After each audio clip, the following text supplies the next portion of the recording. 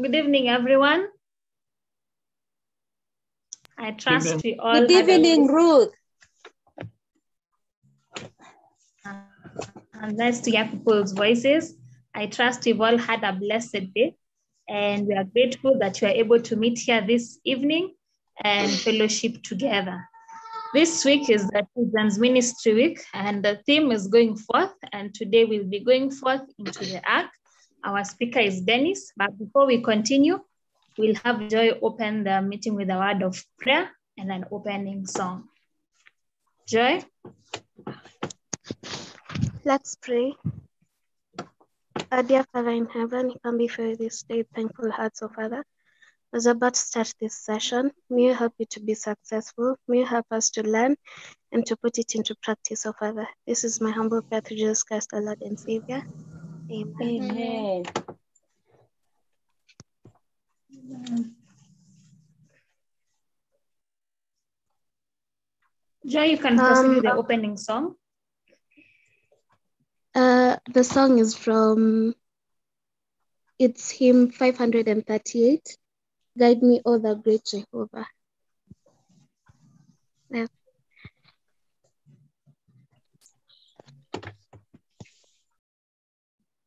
Thank you, Joy and family, for the beautiful singing, and we trust that God will guide us as we are going forth. So, our key text, children, wherever you are, please have your Bible. When we come to worship, we come to, from the Word of God. So, let's all have our Bibles. Do you love our Bibles? Good. The book of Psalms, that's in the Old Testament, the longest book. We go to the book of Psalms. Psalms, the 119th chapter. So Psalms chapter 119. Are we all there? Psalms 119, verse 10. So I'll give us a few minutes to find it. Psalms 119, verse 10. Have we all found it wherever we are with our Bibles? And it says, I seek you with all my heart. Do not let me stray from your commands. I'll read a little bit slower for those who have not yet opened. It's Psalms chapter 119.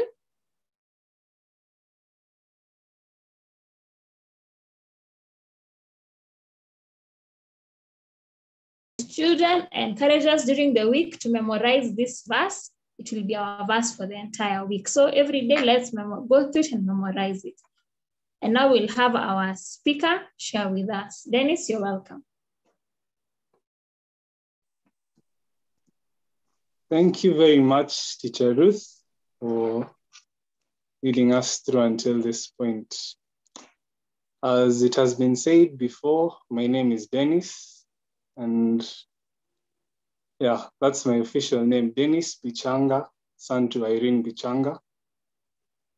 My unofficial name is DJ, uh, meaning Don Jr.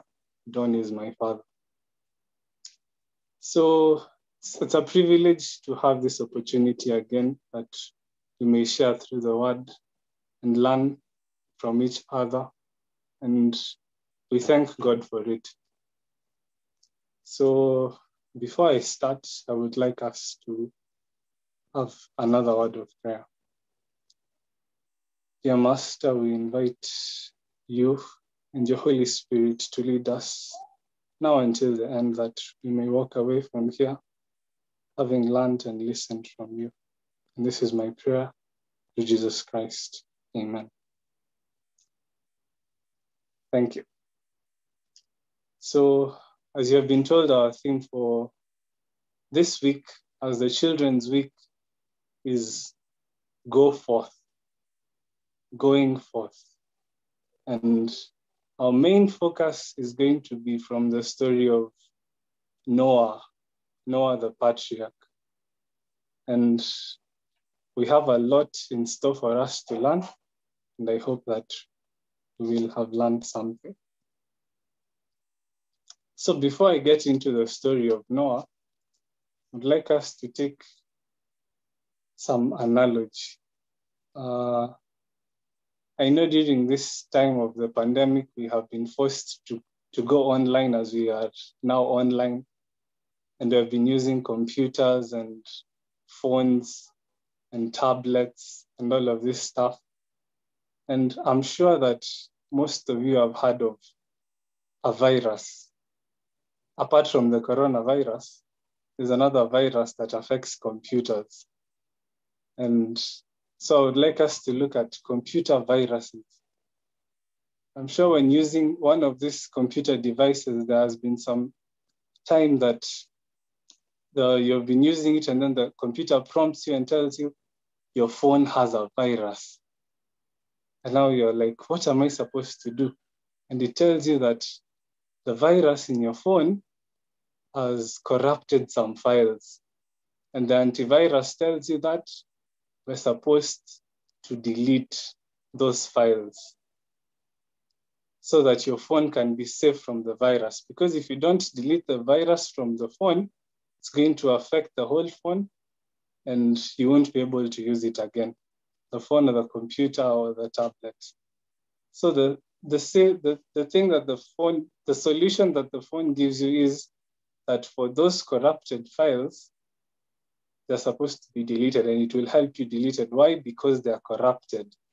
They have viruses inside. And so you go ahead and accept. But what happens if these corrupted files, one of these corrupted files are the ones that contain your school documents and your assignments that you've done. And now these are the same files that uh, you have to delete because they're corrupted and they have a virus. So because of the whole phone, because you want to save the whole phone, you'll have to sacrifice and say, although I've worked on this assignment and I've, I've saved these documents here, but because they're corrupted, because they have viruses, I'll accept and delete them. So you'll, you'll have to delete them for the greater good to save the whole phone, that the phone may continue working well. And that is the same, that is the analogy I would like us to go through with as we learn from the book of Genesis and the story of the patriarch Noah. So uh, I hope you have your Bibles close to you because we'll be reading some verses and from there we'll learn from it. So the first verse we're going to read is Genesis chapter 6, verse 1. And the Bible says, I'm reading from the New King James Version, Genesis chapter 6, verse 1. I hope you are there. And the Bible reads Now it came to pass when men began to multiply on the face of the earth, and daughters were born to them. So, this is a stage where, after Adam and Adam's children, and Adam's children's children, and so forth and so on, people began to multiply, and people became many on the face of the earth that the earth was filled with people. And that's what the verse is telling us. Now I'd like us to skip to verse 4. And it says, There were giants on the earth in those days. And afterward, when the sons of God came into the daughters of men, and they bore children to them, there were mighty men who were of old, men of renown. The Bible says those days that there were giants. Wow, isn't that nice? But that's a story for another day about the story of the giants. But now we will have to proceed to verse 5 and 6. What does verse 5 and 6 say? Genesis chapter 6, verse 5 and 6 says, Then the Lord saw that the wickedness of man was great in the earth, and that every intent of his of the thoughts of his heart was evil continually. And the Lord was sorry that he had made man on the earth, and he was grieved in his heart. So, this is a sad point, very sad point in creation. And if you could remember after creation, we, we see that in the book of Genesis, chapter 1, the last verse, the Lord says that, and he saw all that he made, and it behold, it was very good. So when we were reciting the, the days of creation, what was were created, at the end of each verse we were saying, and behold, it was good, and behold, it was good. And when creation was over, the Lord said, everything was very good, everything was perfect. But now, here in Genesis chapter 6, what has happened? That the Lord is sorry. The Lord is sorry that he made man on the earth. Why? Because the man is evil continually. The man has become corrupted, like those files we were talking about in uh, our computers.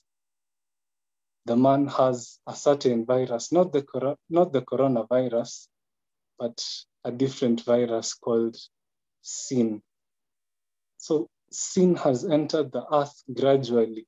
From the time Eve ate of the fruit in the garden, sin has been creeping and growing in man slowly by slowly. And we see here in Genesis chapter 6 that now sin is reaching a state where God is sorry that he made man. And the Lord now has to deal with this sin because if he does not deal with it, it will affect the whole creation. And so the Lord does something to deal with the sin, pure, uh, purify the earth, to cleanse the earth of this virus called sin. Now, we will read from the same chapter, chapter 6, and we'll read of a man. When we continue from chapter 6, verse 7, it says, So the Lord said, I will destroy man whom I have created from the face of the earth, both man and beast, creeping thing and birds of the air, for I am sorry that I have made them. Verse 8 But Noah found grace in the eyes of the Lord. So when God looked at his creation, he saw that man had sinned man had become corrupted. But there was a man amongst the many men on the earth. There was a man called Noah and his family, whom the Lord found grace in. And on this man, the Lord pre- presented some responsibilities because the Lord had decided to cleanse the earth from the corruption, from the sin, from the virus.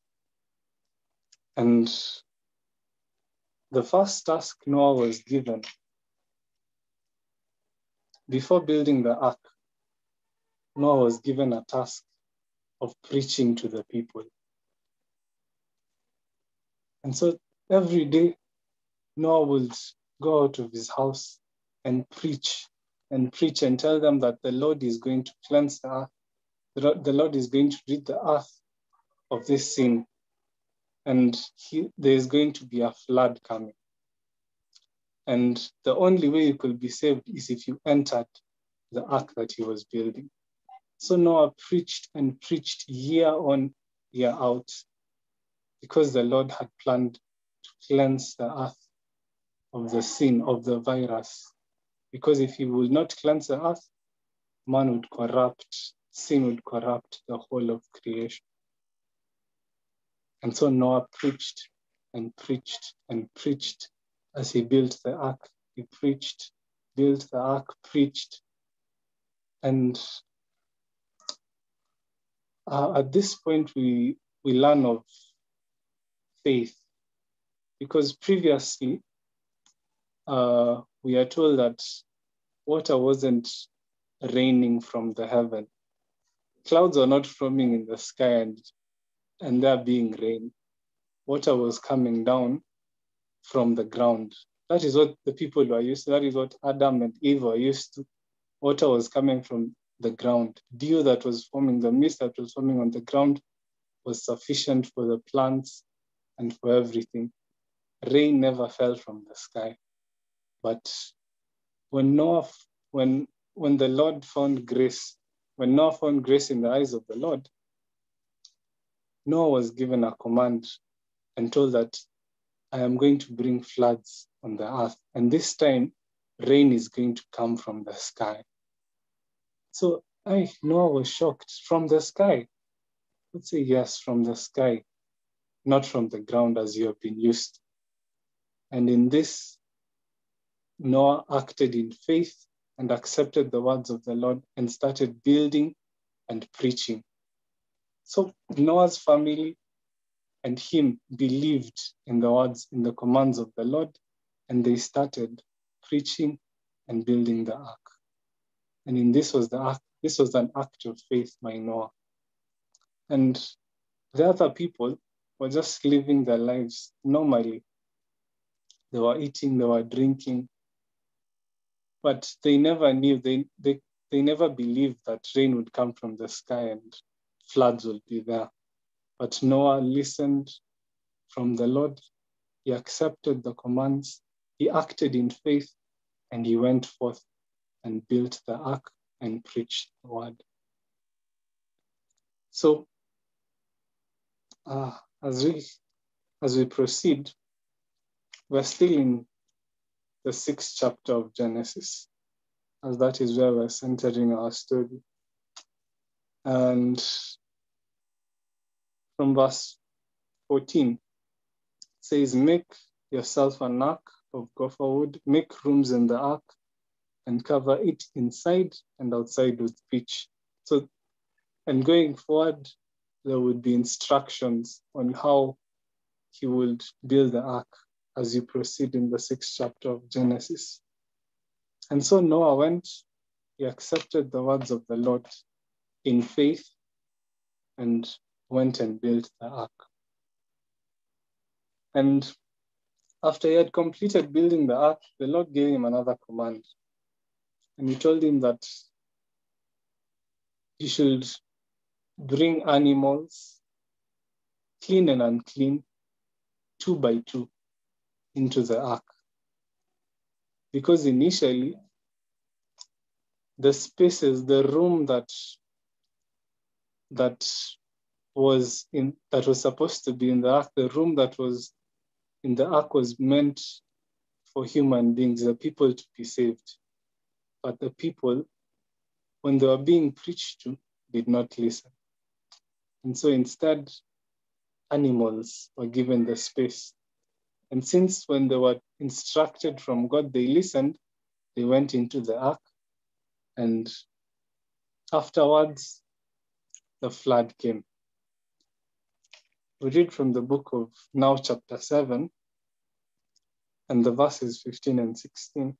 And it said, and it says, and they went into the ark to Noah, two by two, of all flesh in which is the breath of life. So those that entered, male and female of all flesh, went in as God had commanded him, and the Lord shut him in. So this was right before the floods. After everyone had entered and the command was given, and now it was time to cleanse the earth of the virus, of the sin. The Lord shut Noah and the animals and his family into the ark, and the flood began. So after this, we find that true to the word of the Lord, the flood came. Rain started pouring from heaven. Clouds formed and they started pouring rain, and people couldn't believe their eyes. And it rained and rained and covered them. And unfortunately, everything that had the breath of life could not uh, live from there. And afterwards, the earth was cleansed from the sin. So, that in brief is the story of Noah. But what are we learning from here? That the problem that the earth is facing is not man, it is sin. The virus is the problem. And when the, uh, when the Lord comes back to cleanse the earth of the problem, let it not be found in us. And we are hoping that we could be men like Moses who found grace, men like Noah, sorry, and also Moses, men who found grace in the eyes of the Lord. That the Lord could choose us also to be bearers of his truth as we await his coming. Uh, to verify this, we will read the book of First Peter, chapter 1, and the verse is 9. First Peter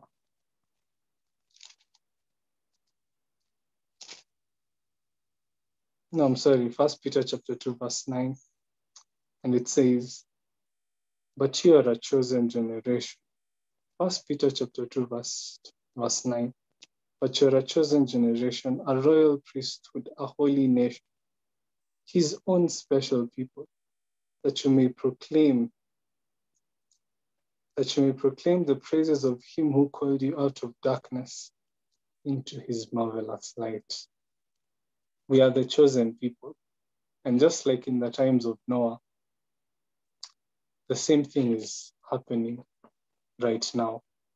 As we near the end of the days, as we, are, as we near the end of the world, God is calling upon his special people to hear the word of the Lord, to accept the commands that the Lord has given us, and to go forth and save the nations.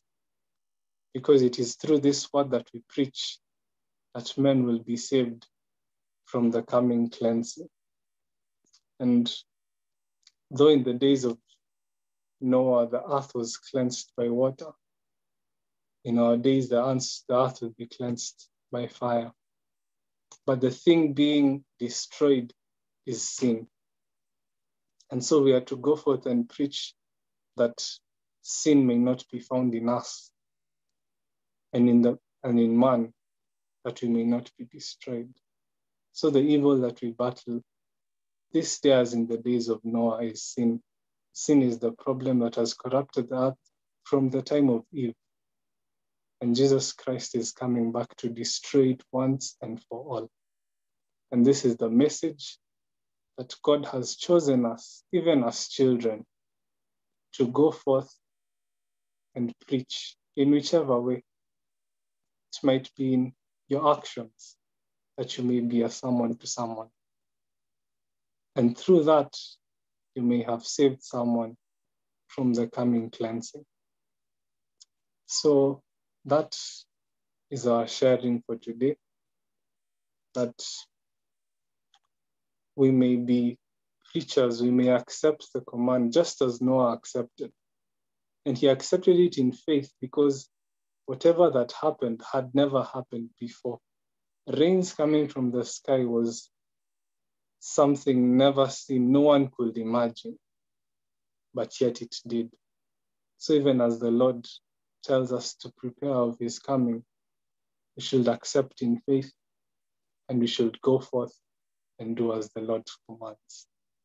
And with that, uh, I would like to hope that even as the antivirus, who is Jesus Christ, comes to read of the files in the earth of the virus, who may not be found as corrupted files. And that will be our sharing for today. Thank you very much. And I'd like us to end in a prayer. Dear Heavenly Master, we thank you for teaching us this evening.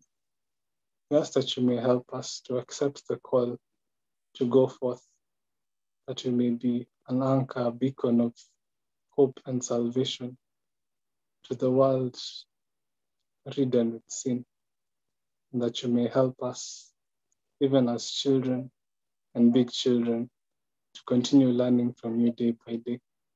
And this is my prayer in Jesus' name. Amen.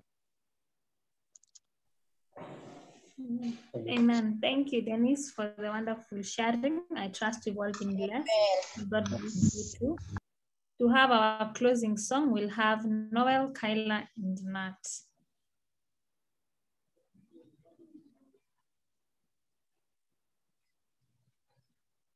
Noel, Kyla, and Nat, feel free to unmute and put on your video and closing song.